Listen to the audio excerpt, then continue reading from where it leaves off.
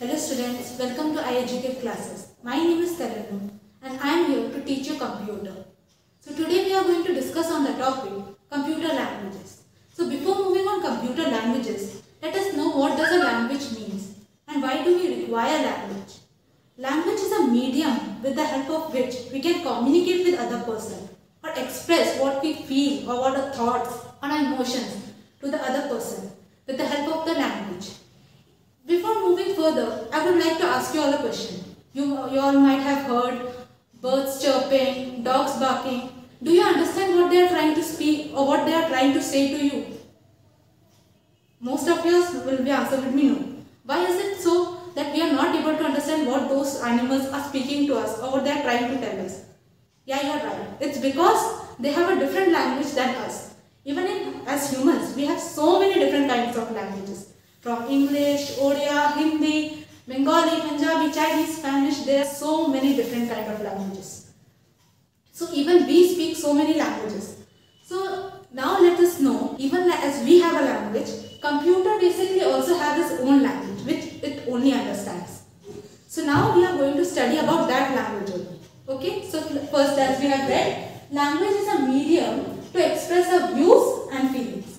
So now as I want to communicate with a computer, how is it possible that I will be able to communicate with a computer? Because as we all know, it's a machine.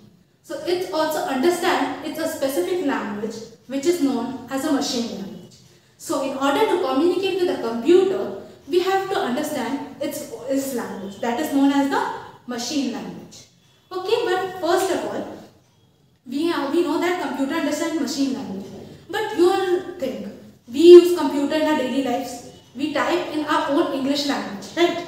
So how is it possible that computer understands what we have written or gives us the answer that what we have given it or what we have asked for? Okay? You all have written means we basically all we use is computer nowadays. Mostly internet and Google. Whatever we type, we get the answer of it. How is it possible that it understands that language? Because we have known that computer understands only one language, that is machine language.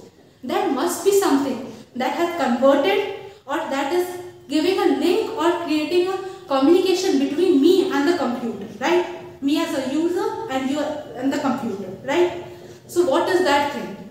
So that is known as a translator, which creates a link between the computer and me, okay? So translator, for example, you can say if, if you have seen there are some places like you think a Chinese person comes, comes to speak to me and neither I know Chinese nor the person Chinese person know Hindi. So we won't be able to communicate with either each other because neither he will understand Hindi nor English nor am I being able to understand Chinese. So we require a third person, a person who understands both Chinese and English so that he can create a communication between us and make the person, Chinese person understand what am I saying and the what the Chinese person is trying to say to me.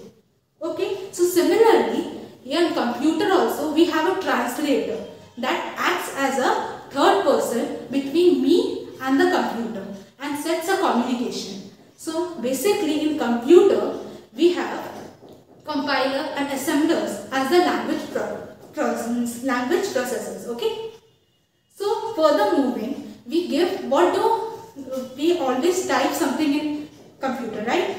That is also even known as instructions. So what is this instructions that we give to the computer known as? It's known as the program. So what is a program? A program is a set of instructions that tells a computer what to do. Even if you have seen that when you have program, a dance program or singing program, you have to learn some kind of, uh, if you have singing competition, you have to learn certain lyrics. And if you have a dance competition, you have to practice certain steps, right? In order to make it a perfect program or a perfect performance. Similarly, here when we give certain instructions to the computer, computer also follows certain steps in order to perform that uh, perform, uh, that program okay so that's basically what a program is the instructions that we give to the computer and the computer follows step by step and performing and giving us the result is known as a program. Further we have seen that computer has its language, right? Now the computer language is further divided into four types. Machine language, assembly language, high level language and fourth generation language. But the language which computer understands is only the machine language. And what does this machine language consist of? It consists of only two things. That is the binary digits. That is 0 and 1. For further studying or uh, to study for to study further, you can join the link given in the description box.